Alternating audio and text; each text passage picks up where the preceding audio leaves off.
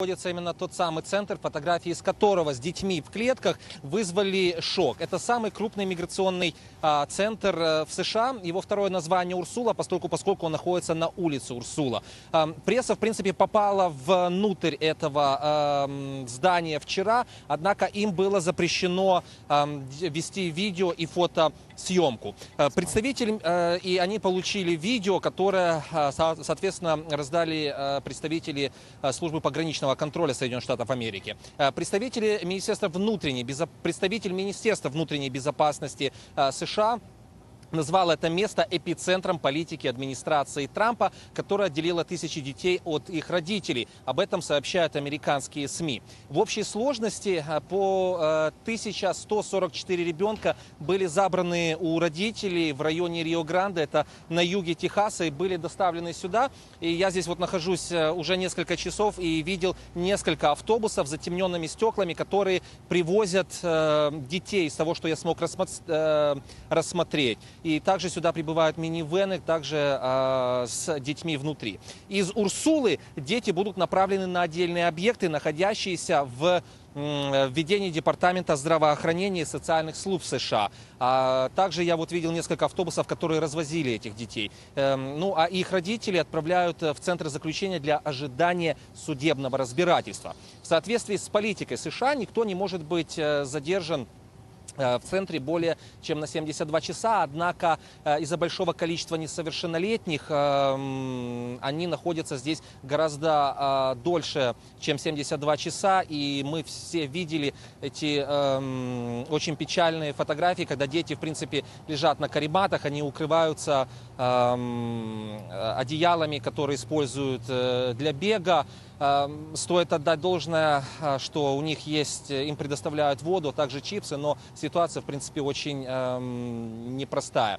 Э, На э, этот, вот этот объект, который находится за моей спиной, его площадь порядка 5000 эм, квадратных метров. Э, Дети э, рассортированы, мальчики с мальчиками, девочки с девочками. И э, также Э, если мы будем говорить об агентах, которые занимаются вот э, этой деятельностью, они перегружены работой. И э, так, например, Джон Лопес, это заместитель начальника службы патрулирования, заявил, что э, в этом центре, например, им не хватает сотрудников, и здесь разъединяют, разъединяют менее половины э, семей. А, По состоянию, если мы будем говорить об общих цифрах, то по состоянию на понедельник Министерство здравоохранения и социальных служб США заявило, что под их стражей находится а, более 11,5 тысяч детей. Об этом заявил а, представитель министерства.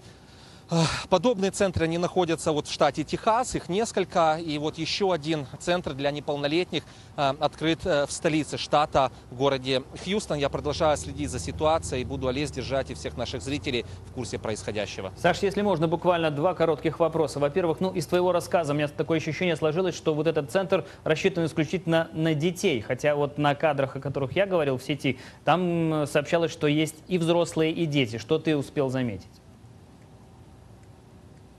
Олесь, я пока успел заметить э, несколько автобусов, которые, опять-таки, затемненные стекла.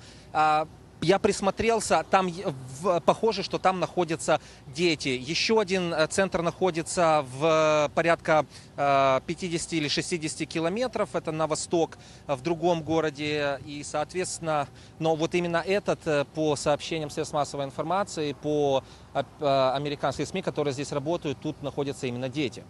И последний короткий вопрос. Как далеко все это от границы и где примерно располагается этот центр? Возле каких-то крупных городов со стороны США или со стороны Мексики?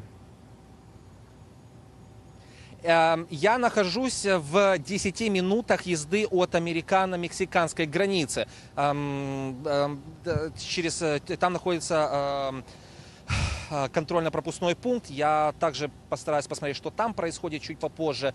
Эм, Этот, э, э, этот центр, этот город, он находится фактически в самой южной части э, штата Техас. Это порядка пяти, часы, э, пяти часов езды от крупного города Сан-Антонио.